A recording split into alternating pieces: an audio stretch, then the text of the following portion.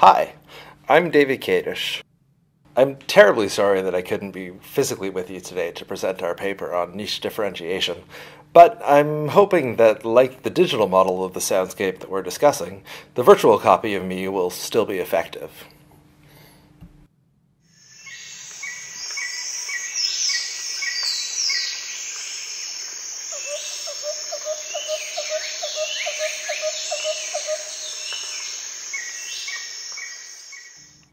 That, of course, is the raucous soundscape of a jungle. Not every environment has such a lively background course, however. Some, like this waterfall soundscape, are dominated by a single overpowering source.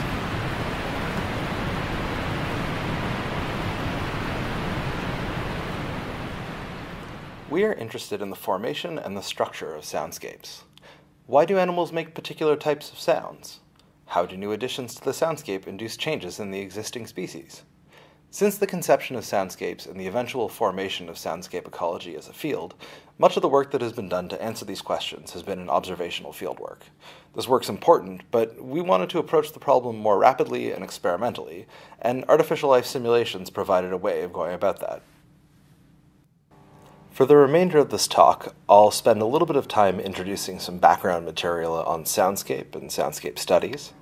Then I'll take you through the development of our virtual soundscape. And finally, I'll show you the results of our study on niche differentiation using our virtual environment. Within the study of soundscapes, soundscape ecology is the application of ecological concepts and theories to the auditory domain.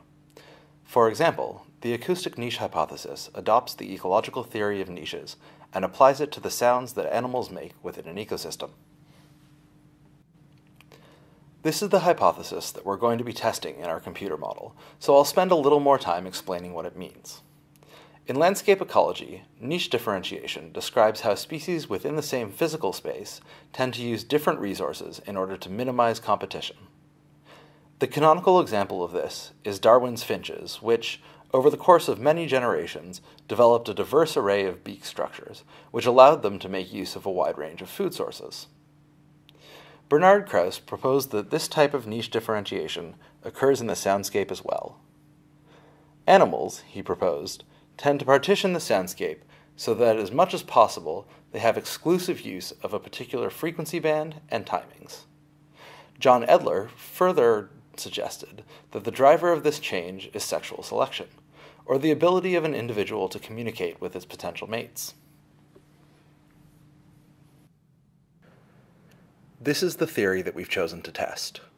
We wanted to know if it was possible to demonstrate this differentiation of acoustic signals driven by mate selection in a simplified, simulated soundscape.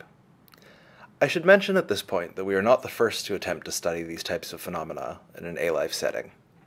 At last year's edition of this conference, Alice Eldridge and Chris Kiefer proposed the idea of synthetic acoustic ecology, in that paper, they examined how the acoustic niche hypothesis leads to the structuring of acoustic spaces in ways that are detectable by acoustic biodiversity metrics. One of the innovations of this study is that we've used a highly simplified discrete model of a sonic environment, in place of the full spectrum soundscape used by Eldridge and Kiefer. Studies of the full spectrum are important, but we proposed here that a simplified model can speed up and simplify the study of some of the system dynamics without a loss of integrity. So, without further ado, let's examine our soundscape model. This is a spectrogram, which soundscape ecologists often use to visualize their recordings. The vertical axis indicates the measured frequencies, and the horizontal axis tracks time. The coloring shows the intensity of the measured sound at a given frequency and time. The first simplification that we make is the discretization of the audio spectrum. Frequency bands are often used in acoustic ecology to measure differences in signaling, where signals are measured in terms of their power within a range of about 1000 kHz. We have adopted this logic throughout our model so that sounds are modeled as a signal strength in one of nine available bands. In order to focus on the spectral effects of the acoustic niche hypothesis, we made our second simplification, which was to eliminate timing effects from the model. In practical terms, this means that every sound is modeled as a single, instantaneous emission which occurs independently of other sounds. It is heard without interference by every individual in the system. The sounds, in effect, are treated serially instead of in parallel, which allows us to greatly simplify the computation and analysis for each signal. This diagram shows the experimental setup for a system containing two species, which is used in the experiments that I'll describe later on in this talk. Each species consists of a population of senders and a population of receivers that co-evolve with one another. The individuals of the species are modeled using NEAT, neuroevolution of augmenting topologies, which allows them to begin with a simple neural network structure and evolve complexity as needed. The goal of each species is to find a set of messages which can be decoded by members of its own species while ignoring messages from others in the ecosystem. The simulation proceeds as follows. A sender from species A processes one of eight possible messages through its neural network. This results in a set of signal strengths on the nine available audio bands, which is passed into our virtual soundscape. This message is heard by every receiver from both species A and species B as though it were a sound projected into the ecosystem. The receivers from both species process this message through their own neural networks and determine whether the message originated from a member of their own species, and if so, attempt to identify the original message. For senders, Fitness is determined by the proportion of messages that are identified and decoded by receivers of their own species. For receivers, fitness depends both on their ability to determine whether a message originates from a member of their own species and also on how well they've decoded the original message. That process is a little bit complicated, so let's take a look at an example. One of the 50 sender individuals from species A prepares to send a message. The message originates as a 3 bit code that is input to the individual's neural network. The network has evolved using a process called NEAT, the neuroevolution of augmenting topologies. This process evolves the genome, which encodes the structure and weights of connections in a neural network. In these simulations, the individuals begin as randomly connected neural nets with only input and output layers, but NEAT allows them to evolve hidden layers and connections in order to add complexity to the vocalizations. The output of that individual's neural network is a string of nine floating point numbers that represents their vocalization in each of the nine available audio bands that make up our simplified soundscape. The vocalization enters the soundscape where it is received by each of the 50 receiver individuals in the receiving populations of both species. Each receiving individual undergoes roughly the reverse process as the sender.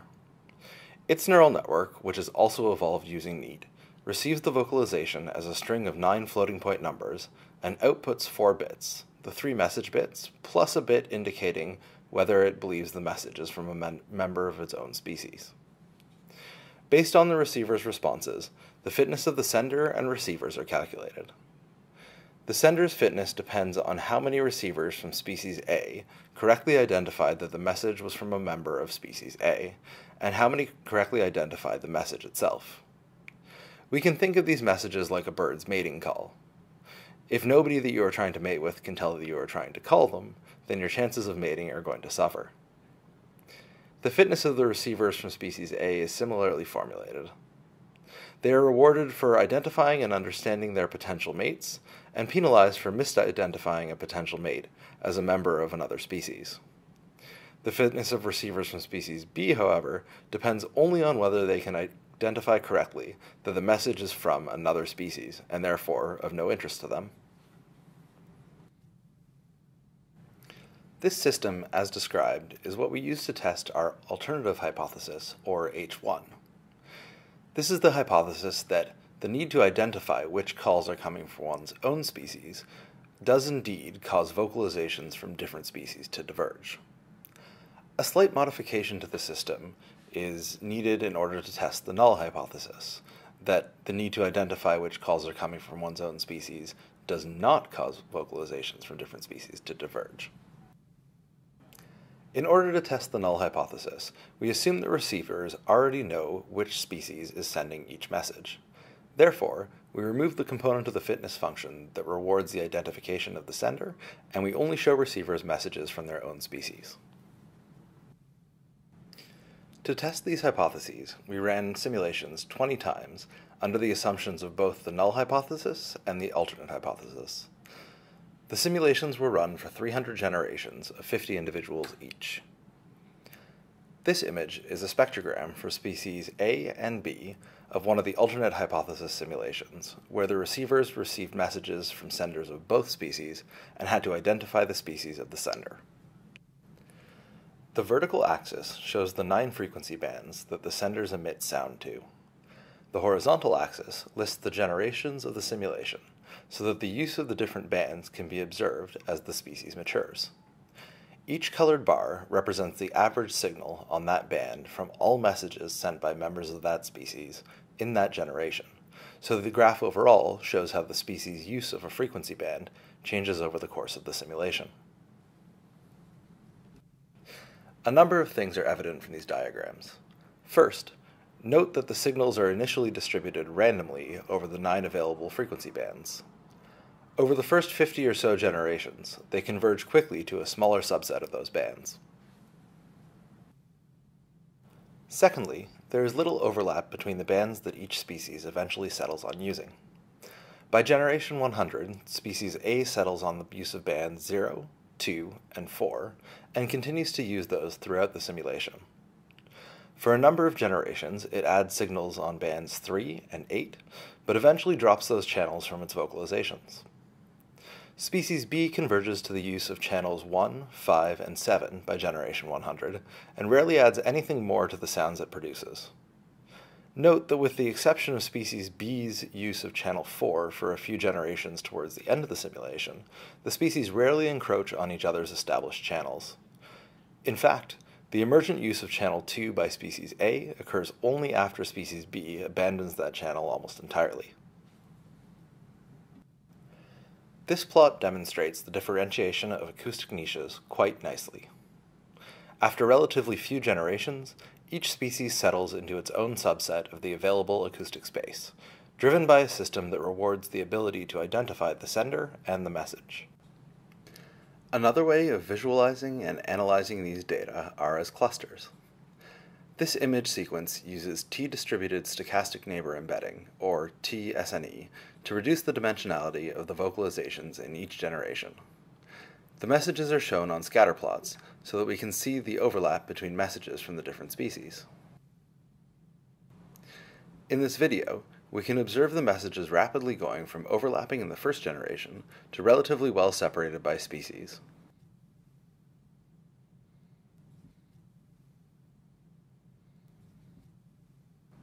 As the simulation progresses, vocalizations within a species begin to separate into smaller clusters, reflecting the divergence of the eight different messages that each species is sending.